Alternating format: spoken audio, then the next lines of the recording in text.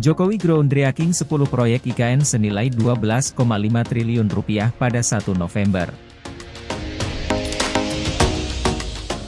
Presiden Joko Widodo akan meletakkan batu pertama, groundbreaking, 10 proyek Ibu Kota Negara, IKN, Nusantara senilai 12,5 triliun rupiah pada 1 November, 3 November 2023. Kepala Otorita IKN Bambang Susantono mengatakan ini adalah groundbreaking tahap kedua yang bakal dipimpin langsung Presiden Jokowi. Sebelumnya, Jokowi memimpin peletakan batu pertama proyek konsorsium Bos Agung Sedayu Grup Sugianto Kusuma alias Aguan pada September 2023 lalu. Kegiatan ini menunjukkan bahwa bukan hanya pertumbuhan pembangunan yang terjadi di IKN, namun juga bergulirnya pertumbuhan ekonomi dan sebagai bukti minat dan kepercayaan yang tinggi dari investor swasta dan pemerintah di IKN, ujarnya dalam keterangan resmi, Kamis 26 Oktober. Ia merinci proyek-proyek yang akan diresmikan Jokowi meliputi Bandara VVIP IKN, rumah sakit, mal terintegrasi dengan hotel dan apartemen, dan sejumlah kantor pemerintah. Ada juga Pulau Suaka Orangutan dan sekolah yang terdiri dari kelas negeri dan internasional. Khusus untuk sekolah, ia menyebut ada relokasi SD Negeri 020 Sepaku yang mengusung konsep baru. Nantinya, SD tersebut bakal menjadi percontohan untuk sekolah negeri lainnya di IKN. Bidang yang bervariasi ini menunjukkan bahwa di IKN sudah ada fasilitas-fasilitas dasar bagi masyarakat yang akan pindah tahun depan, 2024, klaim Bambang. Bambang mengklaim sejauh ini nilai investasi proyek yang sudah di groundbreaking mencapai 23 triliun rupiah. Nantinya, proyek-proyek IKN lainnya dijadwalkan groundbreaking pada Desember 2023. Terpisah, Menteri Pekerjaan Umum dan Perumahan Rakyat, PUPR, Basuki Hadimulyono ikut menyoroti groundbreaking proyek Bandara Very Very Important Person, VVIP, IKN. Proyek yang akan diresmikan awal bulan depan ini setidaknya menelan dana 4 triliun rupiah. Basuki berharap investor bisa lebih cepat melirik dan masuk dengan adanya groundbreaking tersebut. Pasalnya, bandara tersebut punya akses langsung ke DKN. Sudah siap. Tanggal 1 mungkin, 1 November, 2023. Ya, lebih cepat investor masuk karena lebih dekat. Jadi, orang bisa masuk situ langsung diikankan, kata Basuki di Istana Negara, Jakarta Pusat, Senin 23 Oktober.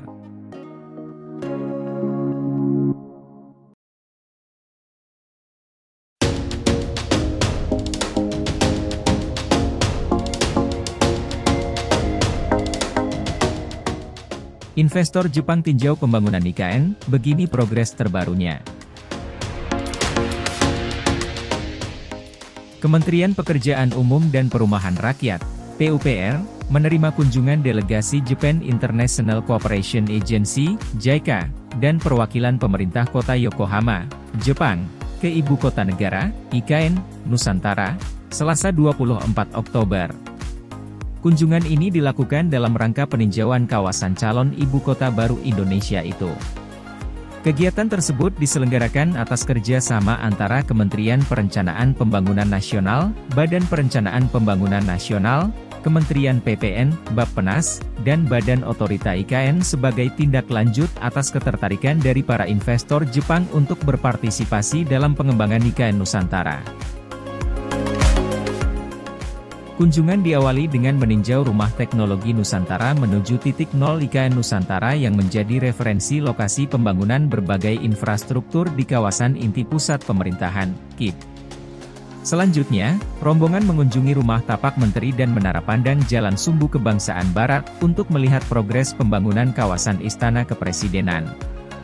Saat ini kami fokus pada pembangunan infrastruktur dasar yang ditargetkan selesai 2024, selanjutnya akan terus secara bertahap, kata Kasih Pelaksanaan Wilayah 2, Balai Prasarana Permukiman Wilayah, BPPW, Kalimantan Timur, Alfred Steve Willy Makalu, dalam keterangan tertulis, Rabu, 25 Oktober 2023. Berdasarkan data Satuan Tugas Pelaksanaan Pembangunan Infrastruktur IKN hingga 19 Oktober 2023, progres fisik untuk batch 1 sebesar 55,89 persen. Adapun pembangunan batch 1 telah dimulai sejak 2020 dengan total 40 paket pekerjaan. Sedangkan batch 2 progresnya 1,14 persen, dimulai sejak Maret 2023 dengan total 42 paket. Dengan demikian kalau di total, progres pekerjaan fisik secara keseluruhan 82 paket mencapai 22,16 persen. Lebih lanjut, beberapa infrastruktur dasar IKN yang diutamakan selesai pada 2024 ialah untuk pemenuhan kebutuhan air bersih dan beberapa jaringan jalan untuk meningkatkan konektivitas ke kawasan IKN. Salah satunya, Bendungan Sepaku Semoy dengan progres 98,12% dan telah dilakukan pengisian air awal, Impo Unding, serta pembangunan duplikasi Jembatan Pulau Balang Bentang Pendek dengan target selesai Juli 2024. Setelah melakukan tinjauan di kawasan Kipika Nusantara, rombongan JICA dan pemerintah kota Yokoyama menuju kota Balikpapan dengan melewati pembangunan jalan tol akses menuju IKN. Tol ini tengah-tengah dikebut penyelesaiannya dan akan terhubung dengan tol Balikpapan Samarinda, Balsam. Nanti setelah tersambung, diperkirakan waktu tempuh Balikpapan IKN yang semula 2 jam jadi hanya 30-45 menit. Pembangunan jalan tol IKN saat ini sudah berjalan tiga seksi, yakni seksi 3 Akaranjo Angka KT Karyangau sepanjang 13,4 km dengan progres 26,4 persen, seksi 3 BKKT Karyangau Simpang Tempadung sepanjang 7,3 km dengan progres 40,2 persen, dan seksi 5A Simpang Tempadung Jembatan Pulau Balang sepanjang 6,7 km dengan progres 60,2 persen. Ketiga seksi ini ditargetkan rampung pada pertengahan tahun 2024.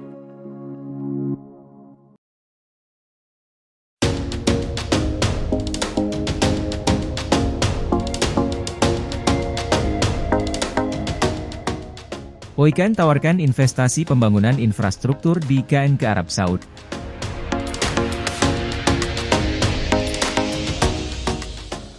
Otorita Ibu Kota Nusantara, OIKN, menawarkan investasi pembangunan infrastruktur di Ibu Kota Negara, IKN, Nusantara kepada Arab Saudi. Arab Saudi adalah negara tempat lahirnya agama Islam dan Indonesia merupakan negara dengan penduduk mayoritas Islam terbesar di dunia. Ibu kota Riyadh yang bermakna, taman, dalam bahasa Arab, juga sejalan dengan cita-cita untuk menghadirkan, Riyadh, di ibu kota Nusantara sebagai World Sustainable Forest City, ujar Deputi Bidang Pendanaan dan Investasi UIKN Agung Wicaksono dalam keterangannya di Jakarta, Senin. Agung menekankan pentingnya Arab Saudi sebagai mitra investasi strategis Indonesia, khususnya dalam pembangunan IKN. Otorita IKN menawarkan investasi pembangunan infrastruktur di IKN melalui skema kerja sama antara Sovereign Wealth Fund, SWF, milik Indonesia yaitu Indonesia Investment Authority, INA, dan SWF milik Arab Saudi, Public Investment Fund, PIF. Sektor-sektor investasi yang ditawarkan adalah energi terbarukan, hunian, infrastruktur konektivitas, ekotouris, dan agrikultur kepada para calon investor Arab Saudi. OIKN menghadiri Forum Saudi Indonesian Roundtable Meeting yang diselenggarakan di Riyadh, Arab Saudi. Agenda ini bertujuan untuk mempertemukan para pemangku kebijakan serta investor dari kedua negara untuk membahas berbagai peluang investasi.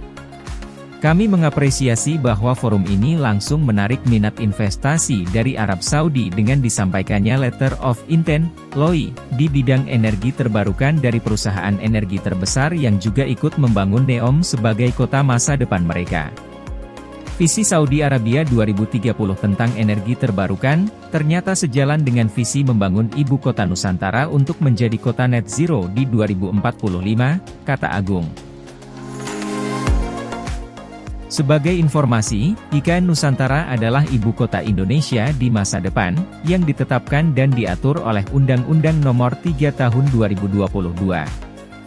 Nusantara mengubah orientasi pembangunan menjadi Indonesia sentris, dan berfungsi untuk mempercepat transformasi ekonomi negara. Otorita Ibu Kota Nusantara, OIKN, ialah otoritas yang mengelola dan mengatur Nusantara.